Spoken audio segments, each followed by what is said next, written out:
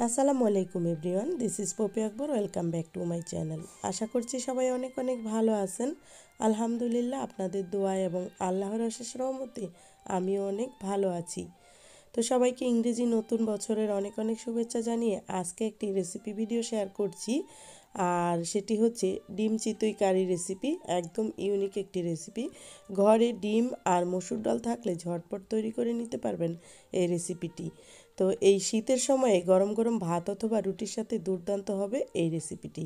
তো আশা করছি আজকের রেসিপিটি আপনাদের কাছে অনেক বেশি ভালো লাগবে। তাহলে চলুন চলে যাই মূল রেসিপিতে।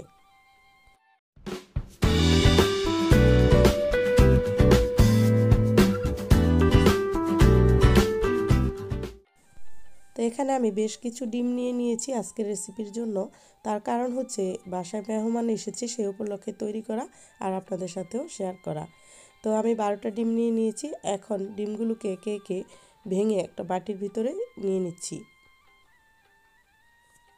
তো বাসায় গেস্ট আসলে মাছ মাংসের পাশাপাশি কিন্তু এই রেসিপিটা সাইড ডিশ হিসেবে রাখতে পারেন, তবে মেন ডিশের চাইতে কিন্তু এইটা বেশি সুস্বাদু হবে সবার কাছে আর আপনাকে সারা জীবন মনে রাখবে।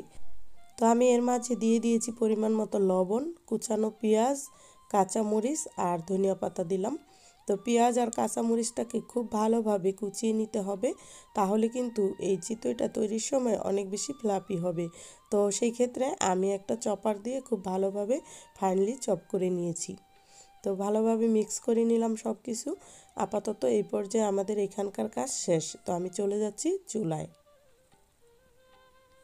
তো চুলায় একটি সাজ বসিয়ে দিয়েছি, যেহেতু চিতই তৈরি করব সেই জন্য এরপরে হচ্ছে তেল ব্রাশ করে দিচ্ছি।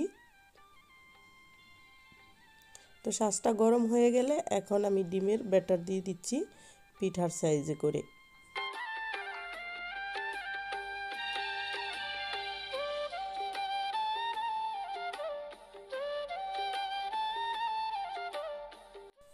তো এই পর্যায়ে চুলার আঁচটা কমিয়ে ঢেকে দিচ্ছি তিন থেকে চার মিনিটের জন্য। এই তো দেখুন কি সুন্দর ফুলে উঠেছে। আর উপরটাও সুন্দরভাবে কুক হয়ে গিয়েছে। আর দেখতে তো মাশাল্লাহ অনেক সুন্দর হয়েছে। আমি একটু ধনিয়া পাতার পরিমাণটা বেশি দিয়েছিলাম যাতে দেখতে ভালো লাগে। তো চুলার আঁচ অবশ্যই কমিয়ে দিতে হবে, তা না হলে কিন্তু পুড়ে যাবে নিচের সাইডটা দিয়ে। তো এভাবে করে সবগুলো আমি বানিয়ে নিব। তো সবগুলো বানানো হয়ে গিয়েছে। তো কিছুটা কুচকে গিয়েছে, ঠান্ডা হয়ে। তো এটা যখন আবার রান্না করব, তখন আবার ফুলকো ফুলকো হয়ে যাবে।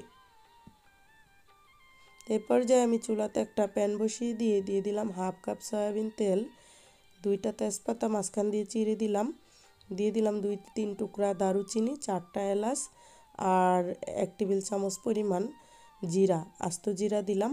আস্ত জিরা কিন্তু ফোড়নে দিলে অনেক ভালো লাগে, বিশেষ করে এই রেসিপিটাতে। তো সব কিছু একটু ফোড়ন তুলে নিব নেড়ে চেড়ে।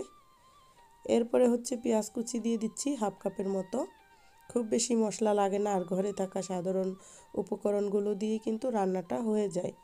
আর যখন খুব ঝটপট কিছু করতে চান, তখন কিন্তু ডাল আলাদা করে রান্না করতে হয় না, ডিমটাও আলাদা করতে হয় না, এভাবে একটা রেসিপি করলেই হয়। তো আদা রসুন বাটা দিয়ে দিয়েছি, তারপরে দিলাম লবণ, এখন হলুদের গুঁড়া দিলাম আর ঝালের জন্য কাঁচামরিচ ফালি দিলাম। তো আপনারা চাইলে শুকনো মরিচের গুঁড়াও দিতে পারবেন। তো আমরা যেহেতু শুকনো মরিচের গুঁড়া কম খাই সেই ক্ষেত্রে কাঁচামরিচের উপর নির্ভর করতে হয়।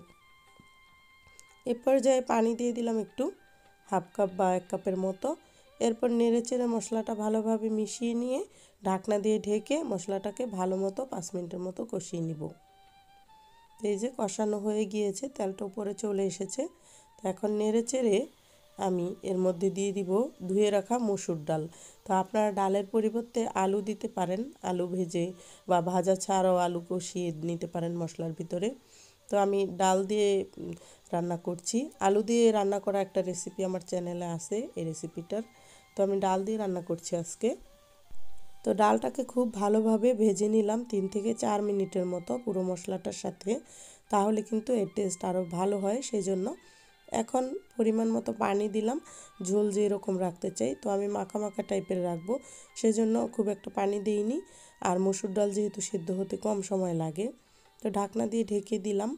এই যে বলক চলে এসেছে, ডালটা প্রায় অর্ধেকটা সেদ্ধ হয়ে গিয়েছে। এখন নেড়ে চেড়ে দিয়ে তারপরে দিয়ে দিব ডিম চিতইগুলো। তা আপনারা চাইলে কিন্তু বুটের ডাল সিদ্ধ করে সেটা দিয়েও রান্না করতে পারেন অথবা মুগ ডাল দিয়েও রান্না করতে পারবেন বা যে কোনো ধরনের সবজি দিয়েও রান্না করতে পারবেন।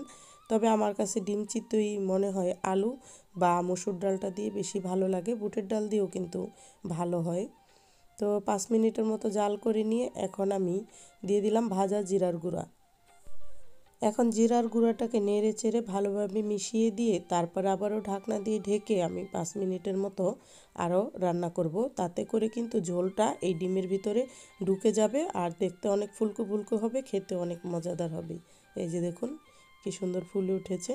তো এই যে ঝোলটা মাখো মাখো হয়েছে, একটু দুলিয়ে দিলাম আর কিছু দেওয়ার নেই, এখন নামিয়ে নিব। এই যে দেখুন ফাইনাল লুক দেখতে কত সুন্দর হয়েছে। এখন গরম গরম পরিবেশনের পালা, ভাত অথবা রুটির সাথে খেতে কিন্তু দুর্দান্ত হয়। তো আশা করছি আজকের রেসিপিটি আপনাদের কাছে ভালো লেগেছে, আর আপনাদের ভালো লাগাই কিন্তু আমার ভিডিওর সার্থকতা।